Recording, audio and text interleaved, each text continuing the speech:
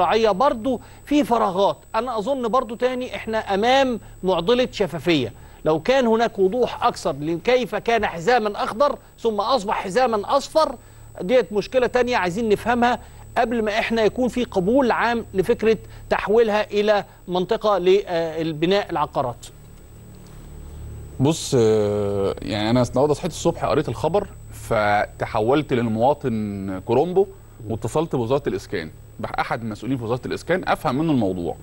فمع كامل احترامي والموضوع غير كده خالص. الموضوع إن قصته كالآتي إن الحزام الأخضر ده شيء يعني لما اتعمل 6 أكتوبر في التسع أو يعني في, فترة التخطيط بتاعتها في التسعينات صدر قرار لشركة اسمها السادس من أكتوبر للإصلاح الزراعي وخ... أو عفوا لاستصلاح الأراضي. خدت الحزام الأخضر ده المفروض إنها تزرعه كرئة أو متنفس لل... للمنطقة نفسها وما كانش ليه قيمة ساعتها كانت أرض صحراء. الشركة نفسها قعدت